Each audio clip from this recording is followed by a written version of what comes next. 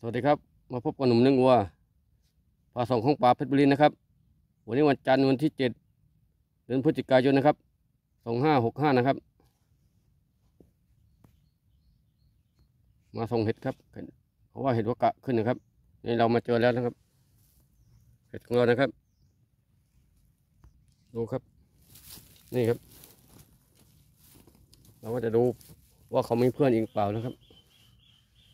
เดินดูตามเบาะ ก่อนนะครับว่าขึ้นไหมนี่เราอยู่เขามะเขือนะครับ